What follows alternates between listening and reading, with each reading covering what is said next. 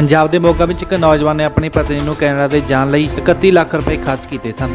ਇਹ ਔਰਤ 3 ਦਿਨਾਂ ਦੀ ਦੁਲਹਨ ਬਣਨ ਤੋਂ ਬਾਅਦ ਕੈਨੇਡਾ ਚਲੀ ਗਈ। ਇਸ ਲੜਕੀ ਦਾ ਕੈਨੇਡਾ ਦੇ ਵਿੱਚ ਪਹੁੰਚਣ ਤੇ ਹੀ ਰਵੱਈਆ ਬਦਲ ਗਿਆ। 10 ਦਿਨਾਂ ਬਾਅਦ ਜਦੋਂ ਉਸਦੇ ਪਤੀ ਨੇ ਫੋਨ ਕੀਤਾ ਤਾਂ ਜਵਾਬ ਵਿੱਚ ਪਤਨੀ ਕਿਹਾ ਕਿ ਜੇ ਉਸਨੇ ਦੁਬਾਰਾ ਫੋਨ ਕੀਤਾ ਤਾਂ ਉਹ ਉਸਦੇ ਵਿਰੁੱਧ ਕੇਸ ਦਰਜ ਕਰਵਾਏਗੀ। ਠੱਗੀ ਦੇ ਇਸ ਮਾਮਲੇ ਵਿੱਚ ਨੌਜਵਾਨ ਵੱਲੋਂ ਪਤਨੀ ਸੱਸ ਸਹੁਰਾ, ਮਾਮਾ ਸਹੁਰਾ, ਮਾਮੀ ਸੱਸ, ਮਮੇਰੀ ਸਾਲੀ ਖਿਲਾਫ ਕੇਸ ਦਰਜ ਕਰਵਾਇਆ ਗਿਆ।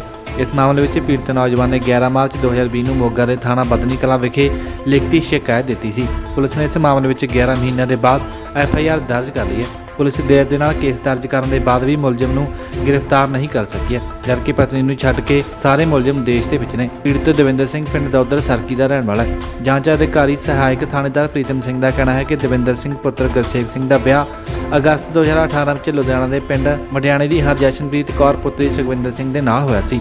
ਦਿੱਤੀ ਗਈ ਸ਼ਿਕਾਇਤ ਵਿੱਚ ਕਿਹਾ ਗਿਆ ਕਿ ਦਵਿੰਦਰ ਦੇ ਮਾਸੀ ਮਾਸਰ ਨੇ ਆਪਣੇ ਪਿੰਡ ਮੰਡਿਆਣੀ ਦੀ ਹਰਜਸ਼ਨਪ੍ਰੀਤ ਕੌਰ ਬਾਰੇ ਦੱਸਿਆ ਸੀ ਕਿ ਉਹ ਆਈਲੈਟਸ ਪਾਸ ਹੈ ਅਤੇ ਪੜ੍ਹਾਈ ਦੇ ਲਈ ਵਿਦੇਸ਼ ਜਾਣਾ ਚਾਹੁੰਦੀ ਹੈ। ਜੇ ਉਸ ਨਾਲ ਵਿਆਹ ਕਰਵਾਉਂਦਾ ਹੈ ਤਾਂ ਉਹ ਵੀ ਵਿਦੇਸ਼ ਵਿੱਚ ਵਸ ਜਾਵੇਗਾ। ਵਿਦੇਸ਼ ਜਾਣ ਦਾ ਖਰਚਾ ਉਸ ਨੂੰ ਦੇਣਾ ਪਵੇਗਾ। ਇਸ ਤੇ ਦਵਿੰਦਰ ਨੇ ਆਪਣੀ ਪਤਨੀ ਨੂੰ ਕੈਨੇਡਾ ਜਾਣ ਲਈ 31 ਲੱਖ ਰੁਪਏ ਖਰਚ ਕੀਤੇ। ਠੱਗੀ ਦਾ ਸ਼ਿਕਾਰ ਹੋਏ ਦਵਿੰਦਰ ਨੇ ਕਿਹਾ ਕਿ ਜਦੋਂ ਉਹ ਆਪਣੇ ਸਹੁਰੇ ਗਿਆ ਤਾਂ ਉਸ ਦੇ ਨਾਲ ਚੰਗਾ ਵਿਵਹਾਰ ਨਹੀਂ ਕੀਤਾ ਗਿਆ।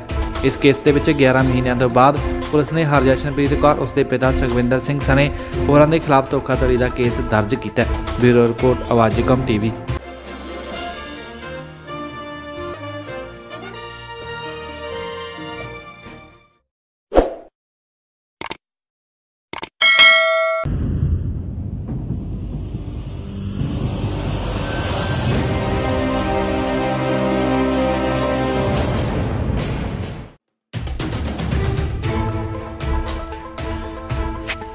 ਪੰਜਾਬ ਦੇ ਮੋਗਾ ਵਿੱਚ ਇੱਕ ਨੌਜਵਾਨ ਨੇ ਆਪਣੀ ਪਤਨੀ ਨੂੰ ਕੈਨੇਡਾ ਦੇ ਜਾਣ ਲਈ 31 ਲੱਖ ਰੁਪਏ ਖਰਚ ਕੀਤੇ ਸਨ। ਇਹ ਔਰਤ 3 ਦਿਨਾਂ ਦੀ ਦੁਲਹਨ ਬਣਨ ਤੋਂ ਬਾਅਦ ਕੈਨੇਡਾ ਚਲੀ ਗਈ। ਇਸ ਲੜਕੀ ਦਾ ਕੈਨੇਡਾ ਦੇ ਵਿੱਚ ਪਹੁੰਚਣ ਤੇ ਹੀ ਰਵੱਈਆ ਬਦਲ ਗਿਆ। 10 ਦਿਨਾਂ ਬਾਅਦ ਜਦੋਂ ਉਸਦੇ ਪਤੀ ਨੇ ਫੋਨ ਕੀਤਾ ਤਾਂ ਜਵਾਬ ਵਿੱਚ ਪਤਨੀ ਕਿਹਾ ਕਿ ਜੇ ਉਸਨੇ ਦੁਬਾਰਾ ਫੋਨ ਕੀਤਾ ਤਾਂ ਉਹ ਉਸਦੇ ਵਿਰੁੱਧ ਕੇਸ ਦਰਜ ਕਰਵਾਏਗੀ। ਠੱਗੀ ਦੇ ਇਸ ਮਾਮਲੇ ਵਿੱਚ ਨੌਜਵਾਨ ਵੱਲੋਂ ਪਤਨੀ, ਸੱਸ, ਸਹੁਰਾ, ਮਾਮਾ, ਸਹੁਰਾ, ਮਾਮੀ, ਸੱਸ, ਮਮੇਰੀ ਸਾਲੀ ਖਿਲਾਫ ਕੇਸ ਦਰਜ ਕਰਵਾਇਆ ਗਿਆ ਇਸ ਮਾਮਲੇ ਵਿੱਚ ਪੀੜਤ ਨੌਜਵਾਨ ਨੇ 11 ਮਾਰਚ 2020 ਨੂੰ ਮੋਗਾ ਦੇ ਥਾਣਾ ਬਦਨੀ ਕਲਾਂ ਵਿਖੇ ਲਿਖਤੀ ਸ਼ਿਕਾਇਤ ਦਿੱਤੀ ਸੀ। ਪੁਲਿਸ ਨੇ ਇਸ ਮਾਮਲੇ ਵਿੱਚ 11 ਮਹੀਨਿਆਂ ਦੇ ਬਾਅਦ ਐਫ ਆਈ ਆਰ ਦਰਜ ਕਰ ਲਈ ਹੈ। ਪੁਲਿਸ ਦੇਰ ਦੇ ਨਾਲ ਕੇਸ ਦਰਜ ਕਰਨ ਦੇ ਬਾਅਦ ਵੀ ਮੁਲਜ਼ਮ ਨੂੰ ਗ੍ਰਿਫਤਾਰ ਨਹੀਂ ਕਰ ਸਕੀ ਹੈ। ਜਦਕਿ ਪਤਨੀ ਨੂੰ ਛੱਡ ਕੇ ਸਾਰੇ ਮੁਲਜ਼ਮ ਦੇਸ਼ ਦੇ ਵਿੱਚ ਨੇ। ਪੀੜਤ ਦਵਿੰਦਰ ਸਿੰਘ ਪਿੰਡ ਦੌਦਰ ਸਰਕੀ ਦਾ ਰਹਿਣ ਵਾਲਾ ਹੈ। ਜਾਂਚ ਅਧਿਕਾਰੀ ਸਹਾਇਕ ਥਾਣੇਦਾਰ ਪ੍ਰੀਤਮ ਸਿੰਘ ਦਾ ਕਹਿਣਾ ਹੈ ਕਿ ਦਵਿੰਦਰ ਸਿੰਘ ਪੁੱਤਰ ਗੁਰਸੇਵ ਸਿੰਘ ਦਾ ਵਿਆਹ ਅਗਸਤ 2018 ਵਿੱਚ ਲੁਧਿਆਣਾ ਦੇ ਪਿੰਡ ਮਡਿਆਣੇ ਦੀ ਹਰਜਸ਼ਨਪ੍ਰੀਤ ਕੌਰ ਪੁੱਤਰੀ ਸੁਖਵਿੰਦਰ ਸਿੰਘ ਦੇ ਨਾਲ ਹੋਇਆ ਸੀ।